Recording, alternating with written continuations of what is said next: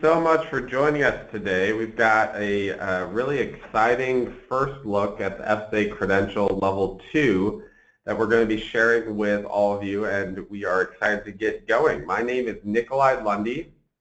I'm the Director of Education at SASB, and uh, I've got a little bit of a cold, so I apologize if you occasionally hear a cough or, or my throat's a little hoarse. I'm sorry about the timing on that. But we're going to have a great webinar, so let's go ahead and get started. Just a few housekeeping matters. These are questions that we get in every webinar, so we figure we'll just tackle them right up front. The first is that the deck and a recording will be sent out to anyone who has signed up. Um, so you'll get that by email next week. We'll also have it posted on our website. We've got a short survey at the end of the webinar. When you close out, that'll pop up on your screen. We'd love your feedback. We read all of that and process it as we consider future webinars. And uh, if you have questions, go ahead and submit that through the question feature. We will be looking at those and uh, answering them, some in the course of the webinar and some we'll put off at the end during a Q&A. So let's look at who we have uh, joining me on the webinar today. We've got two uh, people who helped write the Level 2 exam. We've got Tessie Petion, who's the VP of Responsible Investment Research at Domini Social Investments. We also have Tom Raymond, the Director of Environmental Sustainability at Hormel Foods. So I'm going to ask each of them to just spend a minute or two introducing themselves, talking about where they work and, and what they do. So Tessie, let's go ahead and start with you, alphabet and ladies first. Uh, can you please introduce yourself? Sure, thanks, Nikolai. So my name is Tessie Petion. I work at Domini Social Investments, which is a mutual fund company that is solely focused on responsible investments. Uh, I help manage the research department here, and prior to my time at Domini, I've worked both in traditional financial services. I started my career at Deutsche Bank, and I've also worked at New York Stock Exchange, and have a background in international affairs. So, and I've been at Domini for about eight and a half years now, and I've focused on really all industries. Uh, but currently I have a particular focus on the pharmaceutical industry. Well. Great, thanks so much, Tessie. And we're going to hear much more about Tessie and the work that she does uh, as we go along. But Tom, if you don't mind introducing yourself uh, to the whole group. Sure, my name's Tom Raymond. I'm the Director of Environmental Sustainability at Hormel Foods. Uh, I have uh, about 25 years of experience in the environmental field. Uh, most of that with Honeywell prior to joining Hormel Foods about 10 years ago. Uh, my background is in both engineering and uh, law, which uh, has, has been guiding my career all along. Uh, in my current job, we, uh, we focus on environmental compliance, environmental engineering work, and sustainability work in large part since the mid-2000s and work closely with our corporate communications teams and, and other subject matter experts throughout the company on corporate responsibility matters. And, and at Hormel Foods, it's an exciting time. We're actually celebrating our 125th anniversary as a company this week. And uh, with that long history comes a, a long journey, and it's a journey that uh, we continue to carry forward on sustainability, and I'm proud to be a part of it. That's wonderful. I didn't know about that anniversary. I'm sure it's an exciting time to be there. Thanks for sharing, Tom. And again, we'll hear both. We'll hear from both of our experts as we go along. Um, let's take a quick look at the agenda just so that you know what we'll be talking about today. First, we're going to do a brief overview of the FSA credential. Um, then we're going to do a look at the level two and level one exams, looking at the differences and comparing how they relate to one another. That'll give us a chance to start diving a little bit more into the level two itself, looking at the curriculum, the exam, other details. Uh, and then we're going to take a look at what the first cohort of credential holders will be a part of, what they'll be able to enjoy as uh, the early bird uh, for the FSA2 exam opens uh, just tomorrow. So we'll have Q&A uh, both throughout the program, but then also at the very end. And before we get to uh, kind of the meat of the agenda, we want to get a sense of who is on the webinar. So we're going to pull up a poll question, um, and it's just about your familiarity with level one. So it's asked, and you should be seeing that on your screen. We're going to ask you to just fill that out, very quick question. It's about whether you've taken the exam for level one, signed up but haven't taken it yet, or you have not signed up yet. We'll give everyone a moment to answer, and then we'll look at uh, who we have on the call.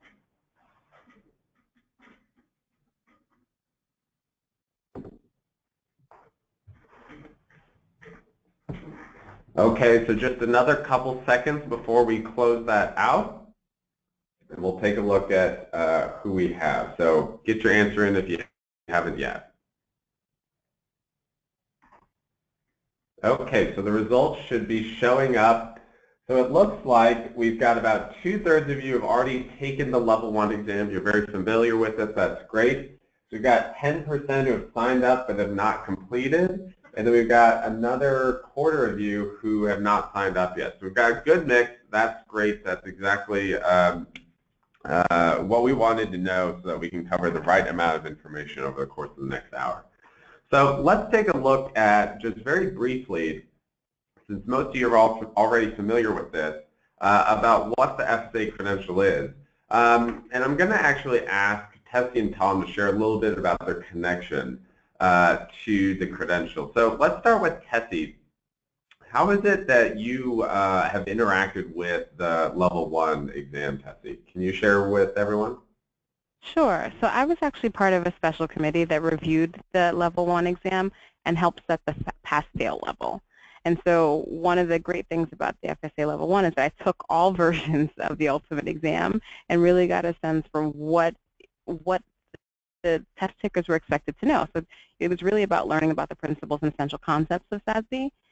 And it was a really interesting experience for me, for someone that's been in the field for eight and a half years, to understand where there's overlap between what I already know and what SASB also brings to the table in, in terms of looking at companies and evaluating them. Great. Tom, your experience has been a little bit different. You signed up and took the exam as a test taker. So do you want to share a little bit about what motivated you and, and kind of what you got out of that? Sure. Uh, the motivation is actually uh, pretty deep, and it goes back to how many questionnaire sets we receive as a company on corporate responsibility metrics and information, how many uh, indexing systems we respond to. Uh, it's, it's, it's a lot, and it is quite a bit of uh, quite a bit of effort out of our group to respond to those.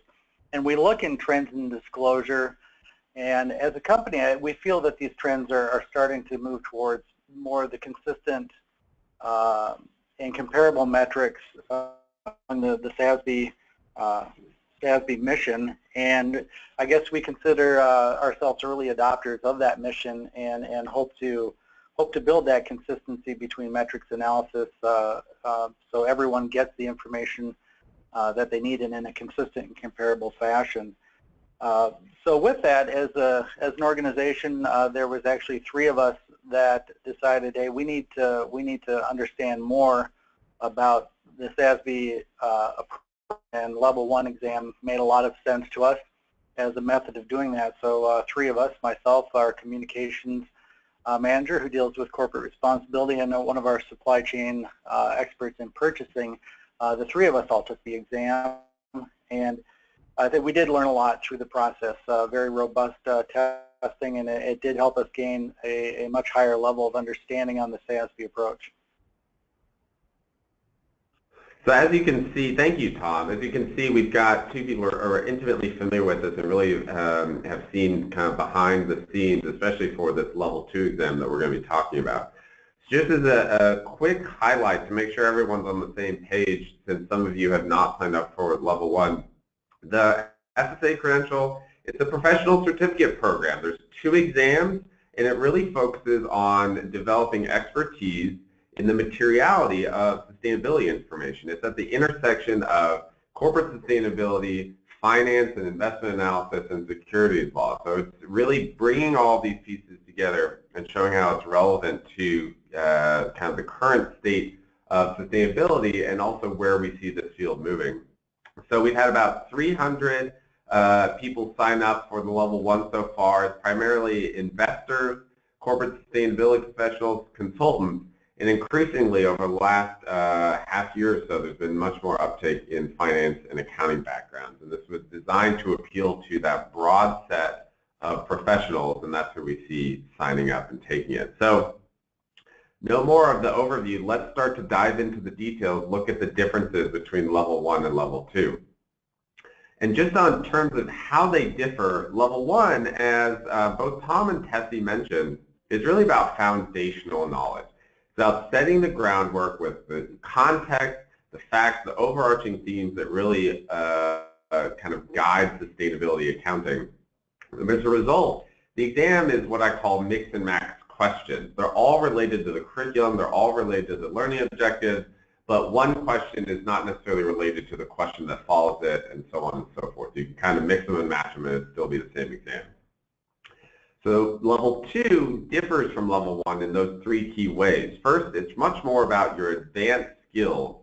It's really about a methodology for analyzing and understanding sustainability information that has material impact on a company's performance and value. And so the exam, as a result, has a much different feel. There's a set of case studies, and each case study has its own associated questions. And so you kind of get information about a particular industry, about companies in that industry, and then you have three to six questions asking about that case study, and then you move on to another case study. So a very different feel with that exam, much more about the analysis. Now, these were designed with the same audience. They were designed as one and two complementary pieces. Um, and it's really about the professionals who need or want to use material sustainability information to better understand the company's opportunities, its risks, and the impact of sustainability on the operating performance or the financial value. So um, that is really the overarching uh, uh, kind of value add for the FSA credential, but the way that level two provides that introduction and level level one, sorry, provides that introduction, level two builds on that, uh, really serves to meet that need. So um, let's hear a little bit, you know, Tom and Tessie, you both had different experiences with level one. You've also had uh, a very intimate experience helping write the exam for level two. I'd love to get your perspective on the differences. Let's start with Tom this time. What do you think? Uh, do you have anything else to add about what's different between level one and level two? Well, I think in, in terms of uh, of the two exams, level one uh, obviously provided some great uh, great background information on, on sustainability metrics and identifying uh, industry level disclosure topics uh, and, and the components of sustainability standards and, and the application of them. Level two certainly takes the application to a very high level. Uh, uh again, not it moves away from the traditional question answer format to more of the case study and then the questions following that, a series of questions on the analysis of that case study. So it really gives the uh, it really gives the test taker an opportunity to to look at the uh, information provided and then apply that in a real world sense uh, to the organization's uh, opportunity and risk in the question set. So it is a it is more reading uh, in the level two exam uh, and then application of what is in that case study to a series of, of what I think are very close to real life uh, scenarios. Great. Um, painting that picture I think is really helpful for, for people to understand what to expect. Tessie, is there anything else you would add in terms of what you've seen as you've gone through this?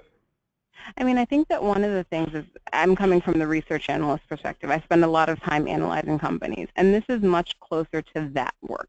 And that in level one, you have that foundation, you have the knowledge, and you have a framework but this is much more about how you apply that framework, how you actually use it to, to determine whether, whether how a company is performing, to, to use SASB's industry standards to really get a sense of a company's performance, about whether there are risks and opportunities related to their performance, about whether their performance on these metrics affects the valuation. So it's much more, it's much more closer to the work that an analyst does and because of that, I mean, obviously the ask is a lot higher.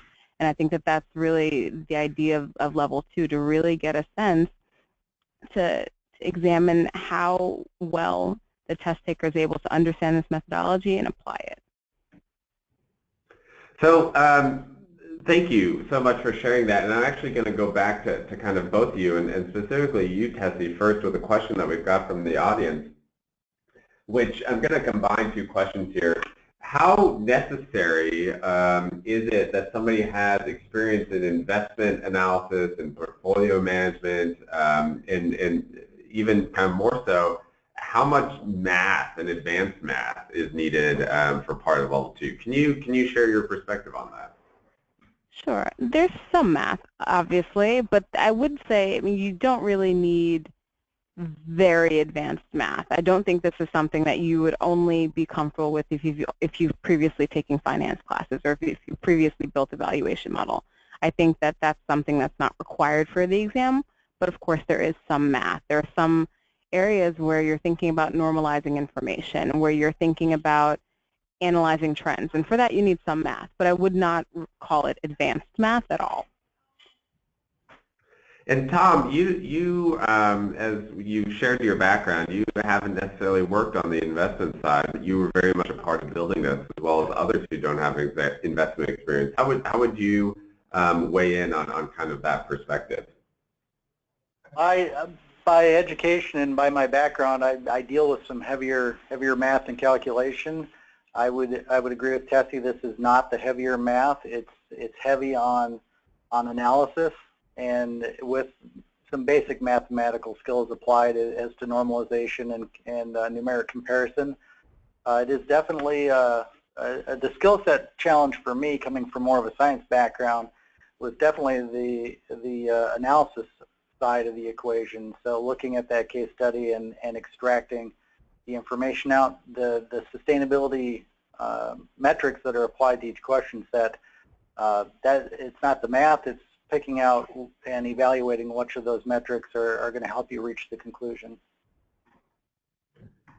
Great, thank you so much, both of you. I think that the, the key term that we keep hearing is this analysis piece, which I want to distinguish from um, something else, which is the level two exam is not about saying that there's only one right decision that a company or investor would make. It's really about understanding the information in front of you. I like to think of it as if you're translating a document. You might have three different translators. They're looking at the same source material. They can all understand it. You might end up with slightly different versions. You might end up with slightly different presentations of what's being translated, but ultimately they understand the information in the same way. And that analysis, that understanding, is really what we're getting at and not trying, and we've stopped short of saying, and therefore this company should make this strategic decision or this investor should make this investment decision. So that's one key piece of the level two. Let's take a little bit closer look at the curriculum. We've got some more questions coming in, and I think we'll be able to answer some of those as we go through. First is, what specifically then do you learn? So there's really one overarching theme, which was that candidates who go through the level two curriculum and, and uh, pass the exam should gain an enhanced analysis of a company's performance and value through material sustainability information. It's about that additive, enhanced understanding. And that is beneficial for those working within the company, trying to understand their own performance, trying to understand their own strategy, and those outside trying to analyze the company either as a consultant or investor. And so we broke that down into three key skills. Identifying how companies' operations or operating context influence the materiality of sustainability issues. Then comparing peer companies' sustainability performance using normalization, additional context, and then evaluating the connection between performance on SASB topics and financial value. Now, one person's asked, is there going to be a study guide like there was for level one? Yes, absolutely. There'll be a study guide that walks you through examples of how to think through this information and analyze it in a similar way. We also uh, kind of have somebody asking about um, continuing education credits, specifically CPEs for accountants um, as part of the curriculum. That's actually something we're still in process of trying to work through with the AICPA. They have very strict regulations and requirements around self-study programs like this. So unfortunately, we don't have an answer for that, something we're certainly going to be working on. Um, and one question was, will we learn how to incorporate SASB measurements into financial models? Really, we stopped short of going so far as to say this is how you would adjust um, a, or this is how you would build a financial model like a DCF or something like that using SASB metrics. It was really more about understanding where those impacts might play if you're looking at growth projections, book value impact, cost of capital, things like that. Um, specifically kind of on that last question, is there anything you would add, either Tom or Tessie, about kind of where this starts to tie into trying to build financial models and, and where the curriculum does and doesn't go? This is Tom. For my, oh, go ahead, Tessie. Go ahead, Tom. I was going to say, for my my background is not in in that world. I I I don't view it as building the financial models, but again, that's not my background and, and forte, so I'll defer to Tessie. Sure. I mean, I think that the thing is, it's much more about if this happens, if the company's performance changes on this specific metric, what's more likely to be affected? Is it that the company's book value is going to be affected? Is it that their liabilities? Much more, and I'm, I'm literally repeating exactly what Nikolai just said, but it's much more about conceptually how you think of the, the cause and effect here than a very specific, then I need to adjust my model down 5%. Then I need to, to change the cost or the, the target price I have on this stock. It's not that. It really is, it's more about can you understand that if this metric is being affected, really affects the company's brand. If it affects the company's brand, does that affect some of its book value? Because, or its intangible assets. It's, it's much more can you take this through line all the way through than uh, adjusting a, a, target price or anything like that. And I think that when you read the study guide, when you read all of the materials, you'll, you'll it's very clear to understand how or why this certain metric ha has all of these effects. And I think it's it's all part of this this idea that we want to very clearly communicate that all of this stuff that we look at as analysts from Tom's perspective that has value and it, and it has both benefits and risks, opportunities and risks to, to how companies perform. So it's not, I need to adjust the model this way or another. And one other thing that I'd like to um, uh, kind of answer that just came up uh, in the questions is, is, whether or not you need to, whether you'll have access to the industry standards. And um, the case studies actually outline the information you need about a given industry. Nobody is being expected to know all 79 industries or have some level of familiarity with it. It's really about here's the information in front of you that you might have in front of you if you were looking at the SASB standards or briefs um, independently outside of an exam scenario. So here's the information you have. How can you understand what that's telling you? So um, nobody's being asked to uh, understand all those intricacies for every industry, you're given the background information and then asked to uh, understand what the implications are. So I want to spend just a moment, because this is a question we, we get periodically, about how did we arrive at the curriculum that uh, we ended up with. And so there, there was a very specific process, and this was really guided by um, what we've learned uh, working with a test development company that has been in the business for decades.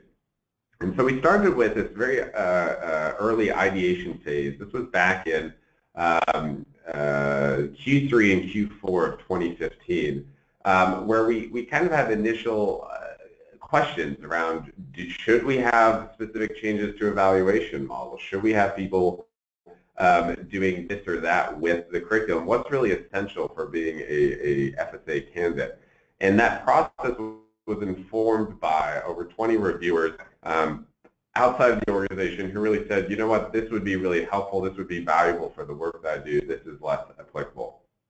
So we took that and arrived at this kind of clear scope of what was uh, in bounds within the curriculum that was then executed by some of our sector analysts uh, who have the deep industry knowledge of SASB, as well as these uh, 14 subject matter experts, of which Tom and Tessie are a part of, and they then help build out the study guide, build out the exam. So um, the people that were part of that review, the subject matter experts, they're the same backgrounds, the same type of professional expertise that this was designed for, and that reflects the people who are already taking the level, the FSA credential exams. Um, And I want to I want to get a little bit of perspective from Tessie and Tom because you came into this process once we had that that scope it was already defined, and so you had to go through your own uh, experience to come up with interesting or valuable case studies that would be relevant to test takers as they're going through this. And, and, and uh, as Tom said, I think,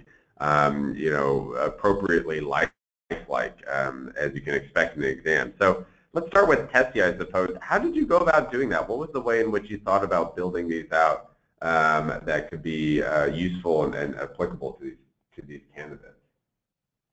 Well, I think that I, to some extent, I borrowed from real life. I mean, I've been doing this for quite a long time now, and so there were some scenarios that came into play that I thought would really illustrate some of the points or some of the the objectives really of the exam. So oftentimes I I spent a lot of time at first really trying to understand and making sure that I really understood what we were aiming to examine. I spent a lot of time with the study guide and, and understanding the content. And then I took a little bit from real life, added where I thought would be helpful. A lot of this was about making sure that we drew out the, the context. It was really all about the context to make sure that we put that I put together cases and that I put together exam items that really helped evaluate the connection between the SASB metric and financial impact, on sustainability performance, on uh, what it looks like with respect to the industry and its peers. It was a really involved process given that the framework was already in place. So I, I think a lot of the time was really spent internalizing the SASB standards and then trying to make sure that I was writing to that. I don't know if that's especially clear, but well, I think what I really drew out of that um, was this idea that you were drawing from your experiences. Um, and I think that that um, is kind of the best indication of, of what people can expect um, with uh, the level two. Tom, your experiences are probably somewhat different, or your, your career background's different than Tessie's. You bring something different to the table. How did you go about um, uh, kind of going through that same process of developing the case studies? You know, with the background being different, uh, some of our approaches are very similar. Uh, we, I started with uh, looking at a learning objective and tying it into the industry standard that I'm most familiar with uh, through my background. And then from there, uh, using the industry standard to build a, a, that scenario that is very realistic to the and applies to the learning objectives that that I was trying to write the question to. And, and in that process, there were certainly uh, SASB metrics that, that are either not in my background or, or not in my subject matter area. So what I did is, is reach out to folks that I knew to make sure that the information I was putting down was as close to real life uh, metrics and analysis as possible, uh, given uh, given the test writing. So I, I, drew a lot of experience there early. As as we went through the process, the process was so rigorous. I, I think it uh, as we started to progress in in case studies and question writing, we were able to take that real life experience and and and apply that to other industry types and and get the same result. Uh, but it was all focused on learning objectives and trying to write trying to uh, write from the industry standard a, a realistic scenario that that can really help the learner demonstrate knowledge on that objective.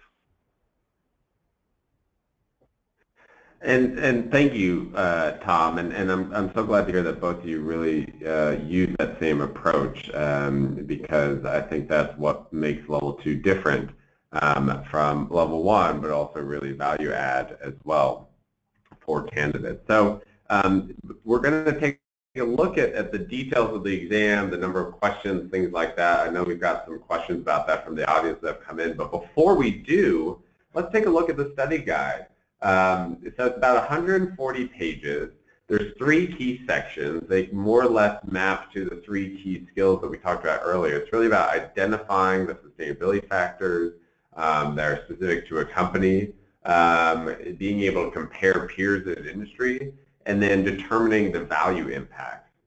The, case, the study guide really does a lot of simulation of examples, kind of simulate the type of thinking that you'd see in the case study. So what I did was I took kind of a screenshot, which you see to the right here, um, which explains here's the industry, here's the topic, here's what the metric is, and then it starts to look at, okay, let's look at a couple companies that we've just either, um, you know, used lifelike data from that resembles uh, already disclosed data or data that kind of resembles what um, our industry experts know uh, is reasonable. And then let's start understanding what that uh, information, how you can understand that information. And so there are, I don't even know, dozens upon dozens of these throughout the study guide that really help the learner familiarize themselves with how this happens in practice. Um, and I am, I really love these examples. I, I'm just so excited for people to start digging into it and see kind of how this applies um, and can be done in practice. And so the study guide is all there to help make that feel real, help those skills um, uh, get refined, so that when it comes to the exam, the candidates are prepared. So uh, let's take a look at what is involved with the exam itself. So there are 75 questions associated with 10 to 15 case studies. Now, it's similar to a level one exam, similar to any other exam that you take out there, CFA, CPA, SAT, GRE, all of those. There are some questions that are scored and count for your pass-fail score, so we'll have 60 questions that count your pass-fail score and some that are unscored, and those are the extra uh, 15 or so. And there's really two types of exam questions, and this is the same as you'd expect with level one, or the same as you encountered with level one if you took that, where you have a multiple choice single answer, so it's just choose one that's out of A, B, C, or D, or E, or F, there's just one right answer. But you also have multiple choice multiple answer, where some of these issues, there's kind of two uh, factors or, or two um, ideas at play that, that would be correct, or three even. And so out of these four or five or six options, which two are correct, which three are correct? Um, and uh, they're, just as in level one, level one had the majority in that first option, the single answer, one correct uh, choice um, but about 35, 40% were the multiple answer. That was the case in level one. It's about that same for level two. Um, you have a two-hour time limit, and it's proctored uh, in the same way as uh, the um, uh, first exams were, where you can go to over 350 test centers in the U.S., or you can take it online, whether you're in the U.S. or abroad. Uh, um, with a webcam, somebody watching you, making sure that you don't have study materials, that you're not looking at a phone or going to the bathroom or things like that. So, um, you know, kind of one other set of questions for both Tom and Tessie to, um, you know, help everyone on the call understand what they might be able to expect. You know, building out the exam was really where your attention was focused um, and I think it'd be great to hear, and we'll start with Tom, what were some of the skills you were trying to assess, or, or what did you want to make sure test takers could do? You know, if you, if you can remember a certain type of question or set of questions that really shed light on, on what somebody might that everyone would certainly appreciate hearing that. Sure. I guess I think uh, in two general groupings, uh, one skill set is to evaluate a company's performance uh, with the SASB metric over the course of, of time, say from year one to year two to year three. Uh, and that may be analysis on the sustainability metric or maybe analysis on sustainability versus financial impact, but an assessment of the company's performance over time. Uh, the second largest grouping is an analysis between companies. Uh, so that, that large question set looking for that same analysis, but comparing the scenarios for, say, company A, B, and C, uh, who each might have a little different uh, background as an organization and scope as an organization, but the metrics are there. So how does the comparison of those metrics, both sustainability to sustainability and sustainability to financial, how do, how do those analysis take place? So it's a, it's a, in my opinion, a, a good mix of those two type approaches in the question sets I try to approach, and and that I've seen in the test questions. Tessie, would you um, have anything else to add, or, or something that that um, uh, you might kind of share that reflects what people might be able to expect, or, or what you were really getting at when you were writing those questions? Sure. When I was writing the question, I was really trying to assess whether a candidate could use the metrics to gain insight.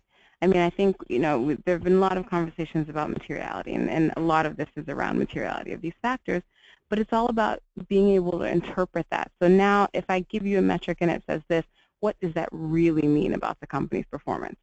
That's really, that's what I tried to write about each question. Like, can you use this data? Do you have to change it in any way? Do you have to normalize it? Do you have to, what do you have to do to it to make this useful for you? And I think that's really the key there. It's about, as Nikolai said, you're not going to memorize every industry standard information booklet, but it's really presented with these factors. How do you use them in the best way? How does it help you gain insight into how a company is performing? That's really what all of my questions were about. I mean, very different versions of that, but it's how do you use this framework that's in place and, and, and help it look at the external context, look at internal company versus company. How do you use this to make a decision about a company? And from my perspective as an analyst, that would be, would be what is most helpful. And that's really what I tried to get at when I wrote questions. So, you know, as, as you hear these themes, it, it's really kind of all about that, being able to understand the company's performance, that, that analysis piece, and, and then leaving, stopping short of saying, and therefore I recommend this sort of decision or, or this sort of strategic action. So that's really uh, what you should keep in mind, or, or, I think a key takeaway of what to expect when you when you when you think about this webinar title, level two, what you need to know. I think that's one of the key things that that is the the take-home piece. But we've got a couple questions in here um, about what the expected pass rate is for level two. So um, the way that this is all going to work is that we, and, and Tessie mentioned that we did this for level one, um, is that the pass rate is determined once we have uh, about 150 to 200 test takers take the early bird version of the exam. Um, that data helps us run a psychometric statistical analysis to determine which questions are valid, which questions are fair, uh, which questions are really reflective of uh, how you expect the exam question to perform. If it's too hard in the sense that people are getting it less correct less often than they would guessing randomly, uh, or if it's too easy, that's not really appropriate for this caliber of exam. If there's no correlation between whether or not somebody gets question 10 right and they get other questions on the exam right, it's probably not an indicator of their expertise. Maybe they just guessed it right, and if that happens a lot, um, then that's also not a good question. So we actually go through a whole process once we have kind of an initial pilot of test takers where we analyze the results, run through some kind of um, statistical, mathematical models, and then bring in a group of uh, new subject matter experts to evaluate and determine an appropriate pass-fail score. And really, uh, and Tessie can testify to this, we never share with anybody if you choose this as the cutoff score, if you say that the 75% of the questions have to be answered correctly, you don't then know what the pass rate is. You don't know if that means 90% of people pass or 60% of people pass because we're not really designing this to say that, oh, only a certain number of people are going to pass.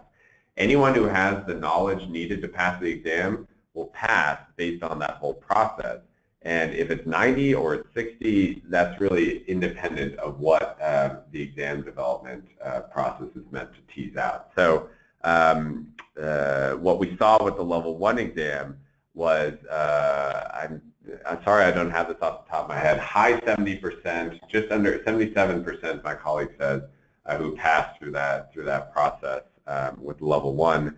We don't know what it's going to be for level two, and that's mainly because we're not trying to uh, calculate or orchestrate a certain pass rate. It's really not about making sure that certain people fail. It's really about making sure that uh, people who have demonstrated that they have the knowledge that they uh, are able to um, validate that with the credential. So hopefully that provides some insight there. Um, let's take a look at some of the preparation tips. Now the number one resource that's going to help for students taking the exam is the study guide. You get that when you register for the exam. It comes through email. You get through a PDF. Um, and that's going to be really the, the, the, the bulk of where you're going to be able to benefit in studying. There's also some additional materials that can be helpful for somebody as they're going through this. There's a candidate handbook. It's really more or less the same document that existed for those who have used the candidate handbook for level one. It's really about the, the logistics and the details you need to know as a candidate. Um, now, there are also going to be sample questions. So for level one, there were sample questions. Um, we actually heard from early bird test takers last time that there weren't um, as many sample questions as they would have liked. So we, we tripled the number um, that were offered. Um, so we're going to make sure that we offer a substantial number this time. Um, but to make sure that those are, are, valuable and reflect what the exam is, our, our, first priority is making sure the exam is finalized, which is, which is kind of the process we're in now. Within two weeks, two and a half weeks, we'll have those sample questions out for everyone um, so that they can use those. So it'll be at least three case studies with probably about five questions on each of those case studies, maybe a little bit more. Um, and so that before, and this will all be available before the first exam can even take place. And I'll get into those timing details later, but you'll have sample questions that get you familiar with what to expect. Another thing that we want to try that we haven't done with level one, but we got some feedback and we want to be responsive to that feedback. So we're going to do a little experiment um, with a kind of online study group. Um, there's a tool called R Campus. We'll be rolling this out. Anybody who signs up, we'll make sure that they have all the details and, and can log in.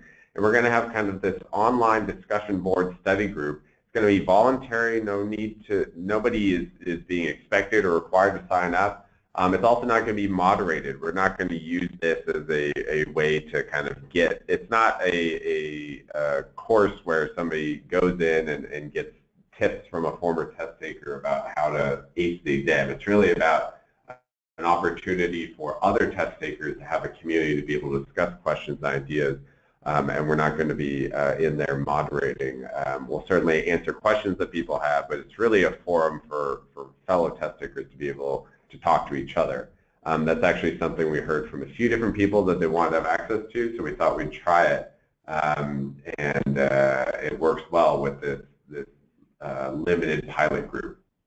And the last thing is, is for uh, the day of the exam that can be stressful. You want to make sure you have everything in a row. So we've got uh, kind of final reminders and, and, tips for what to expect and, and how to make sure you go in uh, with all of the logistic handles so you can focus on just doing well in the exam and, and not worrying about anything else. This was particularly helpful for people who are doing the remote online proctoring with a webcam and everything like that. It requires software that kind of takes over computers so you don't have access to other materials. If you use a work computer or something else, uh, sometimes there's, there's firewalls and other things that, that get in there. So you, we recommend doing some diagnostics and, and uh, kind of talking to um, uh, your tech department if you're using your work computer. We've got it all laid out. We actually make it fairly straightforward, so you've got a how-to guide so you're not stressed about it, but it's really helpful for people to look through that. So that also kind of helps with final preparation tips. Um, so let's, uh, I want to, you know, kind of probe the audience with one more poll question um, to get a sense of uh, kind of the extent to which people plan on using a study group um, because this will help us kind of uh, make sure that we have the right size materials in there. So um, there's a question here, will you join a digital study group and, and we're still going to offer it even if only two people say yes. We just want to get a sense to make sure that we are prepared um, for kind of the size of, of what might be expected. So there's just a question in there um, about whether you're likely to join something like that. Again, voluntary, not moderated, chance to talk with other test takers. So let us know, and um, we'll give you a few more seconds to, to input your answer.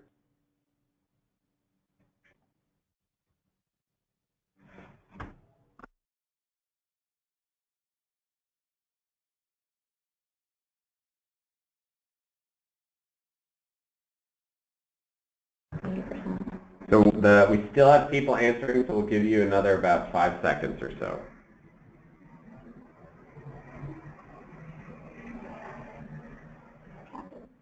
Okay, so Um, we're going to close that and take a look at the results real quick just so that all of you know also on kind of what to expect if, if you're trying to, to join the study group. So um, we've got a wide range of results here, uh, a few that are in the definitely category, um, some that a large number of you actually kind of depends on how many others are on that. Am I going to be the only one? Seems to be the question that rules the day. Um, and uh, a variety of you also aren't interested, which is perfectly fine. So um, we'll be rolling out that uh, as, again, kind of an experiment, the, the pilot test takers who take the level two early bird um, and um, uh, be responsive to people's feedback and, and make adjustments as needed. So uh, let's get through these last few slides and then open it up to, to some more of the Q&A that um, we haven't been able to, to get to yet. So let's take a look at the timeline. So um, the level two is being opened in kind of two phases. And this is exactly how we did it with level one. Many of you are already familiar with that. Some of you aren't. So I just want to kind of lay this out for you. Um, there's this early bird program, there's early bird period, um, where we get those first 150 to 200 test takers that really help us get good data to be able to set a reasonable pass-fail score. And, and because if you think about it, we could right now just say 75% questions correct, that's the cutoff, uh, but that's not really a, a, a, reasonable way to set an exam pass-fail score because maybe Tessie and Tom and all the other experts wrote really, really tough questions and it's really hard to get a 75% correct. Or maybe they wrote much easier questions and it's much more reasonable to get a 90%. Um, so we kind of have to, to go through and uh, make sure that the questions are both not too easy, not too hard, because then we won't count them for the pass-fail score, and then also make sure that there's a correlation between um, whether or not someone gets question right or um, the whole exam, does well on the whole exam. So um, that whole process is this early bird period, and you get some benefits being an early bird test taker. Um, and it starts tomorrow. So tomorrow, uh, the study guide will be available, registration will be available. You can go to the website and uh, sign up and, and begin studying. Uh, two weeks from now, um, that's when we'll make the sample questions available, as I mentioned earlier. Then a couple weeks after that is when the first day the exam is offered. So this works because you can start studying now. There's no one who's going to sign up tomorrow and choose their exam day for a day later or even a week later. We find that most people spend three to four weeks studying, so we gave that kind of initial time uh, for people to get that in, and the first day you'll be able to take the exam is August 22nd. Or you'll have from August 22nd through September 30th. That's the window by which you'll be able to take the exam. Um, and to kind of offer uh, uh, those of you who are signing up as part of this early bird, you're signing up as somebody, as the group who doesn't benefit from the fact that people have taken it before you. So uh, as a side benefit, we're going to offer a little exam cram webinar that first week that the exam is offered. Um, this is the opportunity for people to ask questions. We're not going to give you answers to questions, obviously. We're not going to tell you study this, not study this. But we'll be able to answer questions and make sure that you feel like you know what to expect going into your exam. Um, and so before October 1st, that's the deadline to complete the early bird exam. Um, and so being part of that uh, uh, early bird group gives you a few benefits, one of which is, is an early bird discount. So um, you get a $200 discount. The price then is 450. It's limited for about half of the people who've already taken the level one. So um, uh, those who are interested in doing this, who want to complete the exam, take advantage of the discount. I encourage you signing up earlier rather than later just so that you can take advantage of that discount. It means that you complete the exam by October 1st so that once October 1st happens, we can do that statistical analysis. It takes several weeks because we run the analysis, we get together the experts, they review every question, they eliminate the uh, questions that are invalid, um, that don't have good uh, exam properties, and then um, they say, what should a reasonable candidate expect to know? And that's the question they try and answer, and that question determines what the pass-fail score is. And then, like I said, they have no idea what the pass rate is. None of them know whether or not they're, they're only going to pass 60% or 80%. So that's all independent. But we need to do that analysis in October and November so that we can get the results out to the early bird group. The people who take the early bird um, will be kind of part of this uh, special group that we're going to call the first cohort of FSA credential holders. After that, anybody else who passes level one and level two, they get the FSA credential, but this first group is that first cohort, which will come with some benefits that I'll talk about in a second.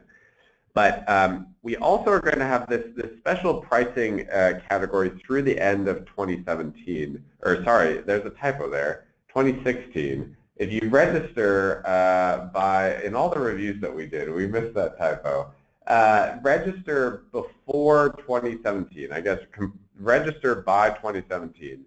Um, you it's acknowledging the fact that many people, 300 people, signed up for the FSA credential before the level two was available. They didn't entirely know what to expect.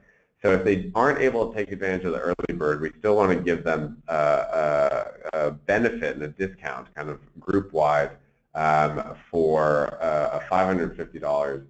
Starting January 1st, um, 2017, that's when the normal price kicks in um, for anybody taking the exam after that. So let's look at what this first cohort of FSA credential holders will have. In addition to the $200 early bird discount, we're going to have a special section on the FSA website profiling these individuals. Um, you're also part of this study group um, that probably uh, will, we may not be able to make it easily available to people who sign up afterwards because people, after the early bird, people just take the exam whenever they want. So some people take it in January, February, March, April, May. There's no kind of cohesive group that can be part of a study group. So you get that special access. Um, we're also, there's a soon to be announced, not yet announced, SASB conference that's happening December 1st. Um, and at that conference in New York, we're going to have a very public recognition of uh, credential holders, that first cohort, kind of acknowledging um, what they've done. Um, and we're also doing this uh, exclusive exam cram webinar um, that we won't be offering otherwise. So um, as being one of the part of those people that sign up for this early bird part of the pilot, um, we want to make sure that you don't feel that you're just out there hanging on your own, but that you get support along the way. So that's what you get as being part of the first cohort. So um, that's it for really getting you all the information you really need to know about um, the uh, level two exam. Now we've got some questions that poured in. We've got a few minutes and I want to make sure that we uh, are able to get Tom and Tessie's uh, perspective on some of that. So one of them, um, let's, uh, let's get Tom's perspective on this. So the question is, does the curriculum address how sustainability professionals can incorporate the data into their company's 10K appropriately. Tom, what would you say to that question?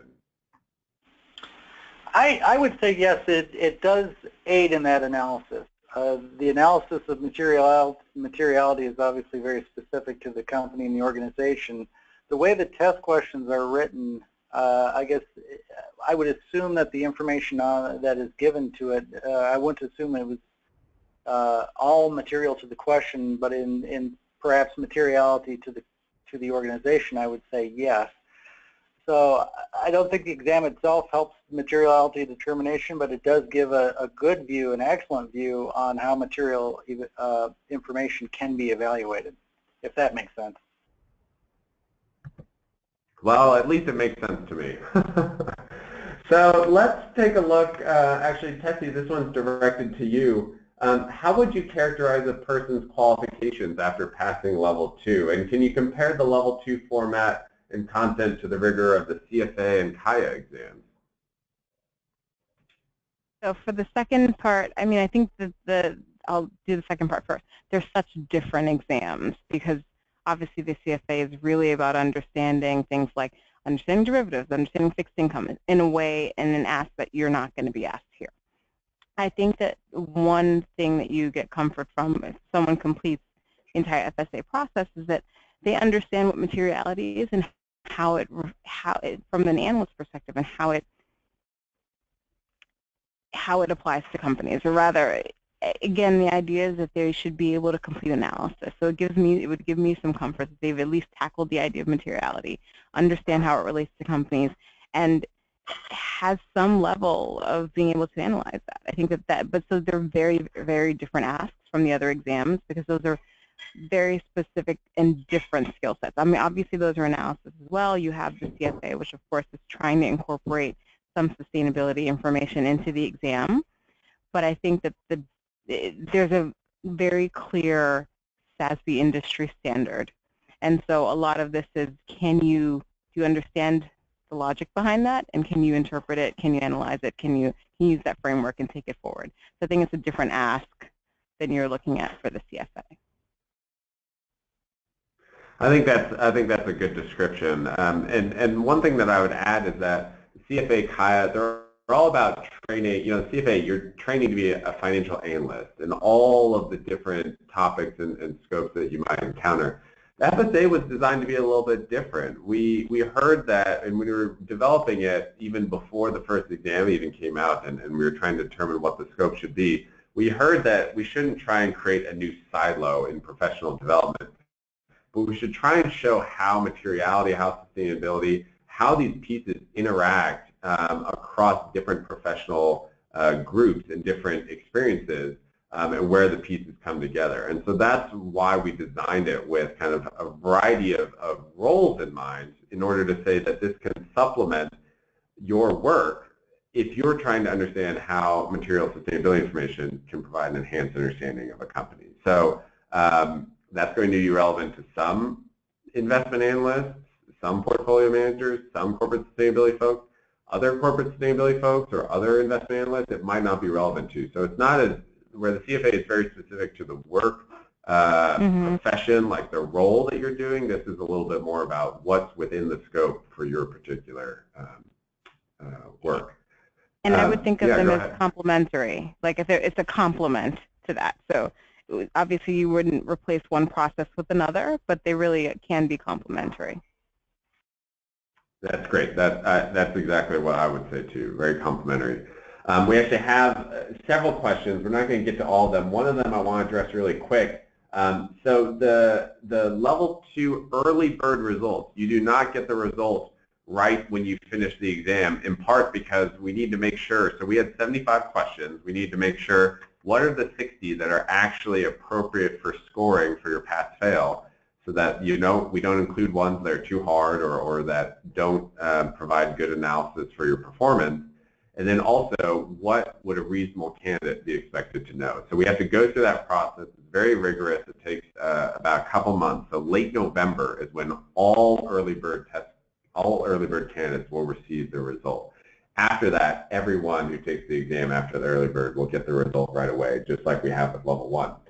We also have one question about, um, and actually I'm going to direct this to Tom, uh, and you can speak particularly to your colleague Kelly. Um, for a non-financial professional, what are the greatest benefits? I'm a communications professional who specializes in sustainability report development. Tom, one of your colleagues also helped work on this who does kind of some of the sustainability communications for Hormel. What do you, what's your take on, on that person's question? Well, yes. Uh, our external manager uh, of communications who deals with corporate responsibility, uh, Kelly Broughton, participated in this process, and she also took and passed the level one exam. And having had conversations with her, uh, the, as a communications professional, she's dealing with a lot of subject matter experts and a lot of data feeds, uh, and and helping us digest that into the into the format, into the style uh, regardless of the communication route. This effort, I know for her, raised her awareness of, of sustainability accounting standards, metrics analysis, and I think that's, that is going to be very valuable for, for her, myself, and anyone else who takes the exam as we start to deal with more uh, traditional metrics reporting. Uh, to be able to uh, apply some, some reasoning as to what the information actually means, which helps you know, will help the story that surrounds the, the metrics and information that's provided. So I, I, think for, for those of us that are in the non-financial field, communications, sustainability on the environmental side, other sustain, corporate responsibility practitioners, uh, the process will, will do nothing but help us evaluate meaningful information and comparable information uh, within the industry, within the company itself. Thank you so much for weighing in on that, Tom. And um, you know, there's there's some questions here that we didn't get to. I want to make sure that we end. You know, I wish I could say it's on time. It's about a minute over by my clock, but um, we will answer some of the questions that we got in individually to those who submitted them. I want to thank Tessie and Tom for joining us and sharing your perspectives. Um, I know that uh, I actually learned a, a bit from you guys as well, not only through this whole process, but even just over the last hour. So thank you so much for joining us. Um, and for all of you who uh, chimed in, if you have additional questions, you can reach out to us, fsa at sasb.org. Um, and if you're interested in taking advantage of that early bird uh, and being part of the first cohort, registration opens tomorrow, and that'll be available on our website. So uh, thank you all for joining us, and I hope you have a great rest of the day. Thanks so much, Tessie. Thanks, Tom. Thank you. Thank you. Take care, everyone.